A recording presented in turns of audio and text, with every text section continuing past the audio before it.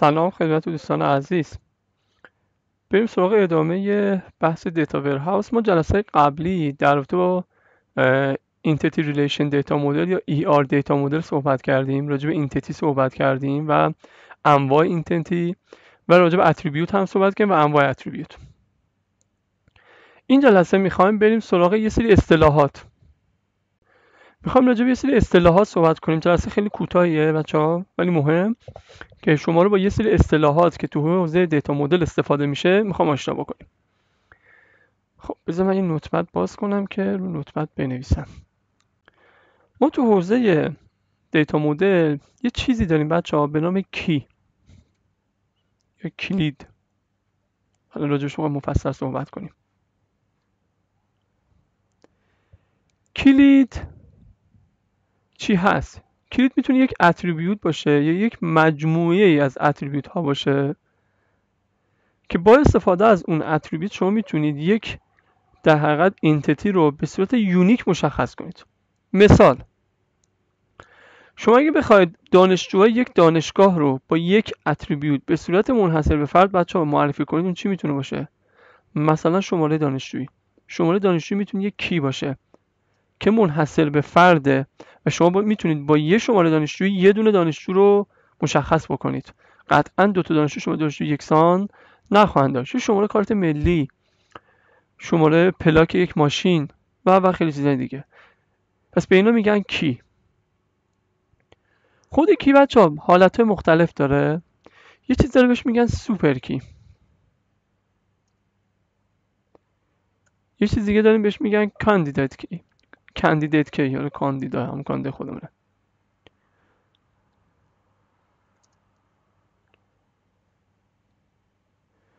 پس یه دونه super key داریم یه کندیدیت کی داریم.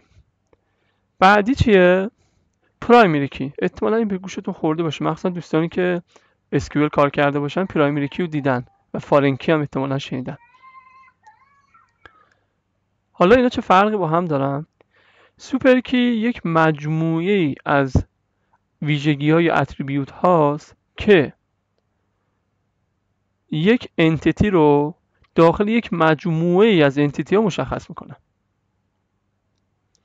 candidate key یک مینیمال نسخه minimal super key ه بچه ها نسخه minimal super key بذارید جلوش بنویسم. اه مینیمال سوپر کی. این چی بود؟ a set of attributes. یه مجموعه از اتریبیوت ها. حالا می‌تونه یه دونه باشه یا چند تا باشه؟ One or more. این هم که میشه یک نسخه مینیمال سوپر کی. یه دونه entity بچه امکان داره چند تا candidate key داشته باشه؟ یه دونه یا چند تا؟ اما primary key چیه؟ و اینجوری ببینم با جلوتر. OK. primary key چیه؟ primary key در یه دونه از این candidate key هاس یه دونه از ایناست. گفتم این می‌تونه یه دونه باشه یا چند تا primary key یه دونه از ایناست که طراح database انتخاب می‌کنه برای اینکه بخواد data هاش رو مشخص بکنه به صورت unique. مثال رو زدم براتون.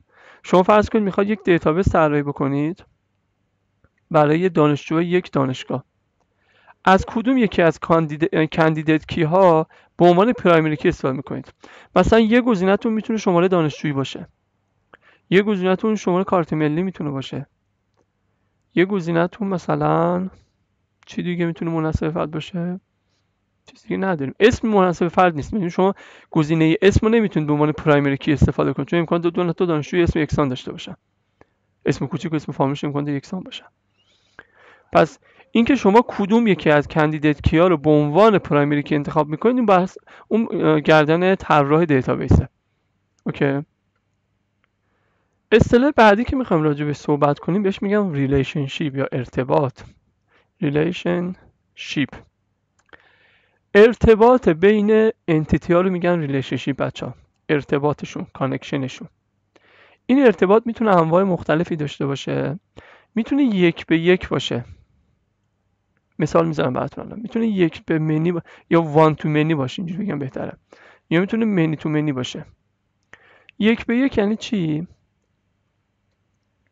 مثلا چه مثالی بزنیم؟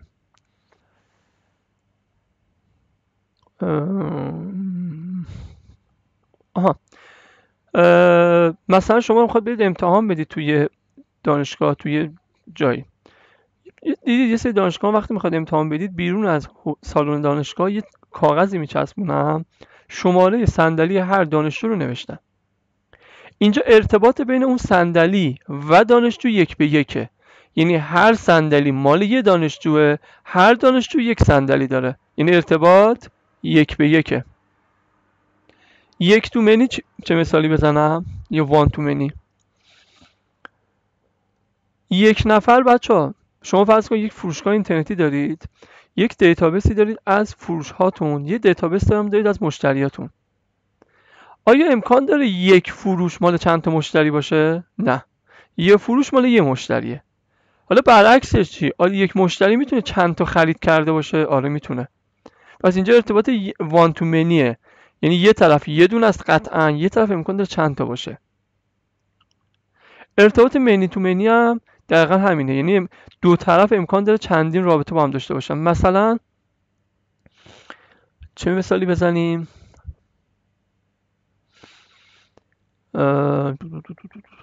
آها همون مثال اول می‌زنم. همون بحث امتحانه. شما فرض کنید هیچ کاغذی بیرون سالن امتحان نزدم شما می‌تونی رو هر صندلی بشینی. اینجا ارتباط منی تو منیه. یه صندلی امکان داره اختصاص داده بشه به چندین نفر. و یک نفر هم می‌تونه رو چند تا صندلی بره بشینه. امکانش هست. این صندلی بشینه امروز اینجا بشینه فردا امتحان دیگه بده یه جا دیگه بشینه. میشه جور ارتباط منی تو حالا مثال شاید مثال درستی نباشه ولی می‌خوام مفهوم برسونم حالا. ان جور تبری مثال خوب بهترتون می‌زنم. خب بذار من یه عکس database رو بیارم. رو اون database راجع به این چیزایی که تا الان صحبت کردیم یه صحبتی بکنیم. یه یه عکس من پیدا کنم. خیلی خوب. اینو نگاه کنید این یه database ه یه database ی از کارمنداست. آره employee الان اینجا نگاه کنید. هر کدوم از این جداول یک primary key داره نگاه کنید که PK نوشته primary key ه. primary key چی بود؟ یکی از کندیدیت کیا بود که باعث اون شما می‌تونید به صورت منحصر به فرد یه چیزی رو مشخص کنید مثلا توی جدول مثلا کارمندان شما با آیدی اون کارمند می‌تونید دقیقا مشخص کنید منظورتون کدوم کارمنده. با مثلا اسم کوچیک و اسم فامیلی نمی‌تونید مشخص شاید یه نفر چند تا شاید چند تا کارمند یه اسم مشخص یکسان داشته باشن. توی country هم همینطور جدول country هر country اومدیم یه کد دادیم. اون کد unique ه. اوکی؟ حتی اسم کشور هم می‌تونه به عنوان primary key انتخاب چون امکان نداره دو تا کشور یه اسم داشته باشن. برای شهر امکانش هست مثلا دو تا شهر یکسان داشته باشیم. احتمالش هست. واقعا این city code بهترین گزینه است. و الی آخر این هم ارتباطشونه بچه نگاه کنید این ارتباطشونه. هر employee داخلش نگاه کنید. الان ما یه دونه state code داریم. این foreign key ه چرا؟ foreign key میشه primary key یه جدول دیگه. دوستان که به SQL آشنایی دارن اینو می‌دونن. foreign key میشه primary key یک جدول دیگه خب این چی بود بچه ها؟ این database physical ما بود خب؟ شما فرض کنید یک database ی دارید می‌خواد از حالت logic تبدیلش کنید به physical یعنی این چیزها رو مشخص کردید توی database تون. می‌خواد تبدیلش کنید به database physical. چه مراحلی باید طی کنید؟ یه سری entity دارید یه سری attribute دارید یه سری ارتباط بین entity ها دارید. می‌خواد اینو تبدیلش کنید به یک جدول واقعی. یه سری primary key دارید foreign key دارید. به این صورت بچه انجام میشه. میان هر entity رو تبدیل می‌کنم به table یعنی هر entity میشه یه table مثلا ما یه entity داریم به نام کارمندا میشه یک جدول کارمندا یه entity داریم به نام مثلا لیست فروش. میشه جدول فروش. اینا هر کدوم میشن یک جدول. relationship یعنی ارتباط میشه چی بچه ها تبدیل میشه به foreign key فا الان بهتون توضیح میدم اینو. تو همین مثال رو نگاه کنید. ارتباط بین جدول employee با مثلا جدول city چجوری برقرار میشه؟ با foreign key یه foreign key دارم به نام city code. ارتباط بین این رو با این برقرار می‌کنه. پس ارتباط رو با فارنکی مشخص می‌کنم تو جدول واقعی. هر اتریبیو تبدیل میشه به یک ستون تو یک جدول. مثلا اتریبیوت داریم به نام اسم. اسم میشه یه ستون. اتریبیوت داریم به نام سن. سن میشه یه ستون. بعد unique identifier تبدیل میشه به. به primary key. این اگر شما اون entity تون یه چیزی داشته باشه که به صورت منحصر به فرد بشه یک data رو مشخص کرد اون تبدیل میشه به primary key اون جدول. اینجا مثالش رو زدم براتون. مثلا تو جدول کانتری این آیدی که به صورت منحصر به فرد کشور رو مشخص می‌کنه میشه پرایمری کی اون جدول. خب اینم از بحث تبدیل جدول لاجیک. به جدول فیزیکال. اصطلاحی که تو کتابا احتمالا ببینید راجع به این همچین چیزی بچه میگم.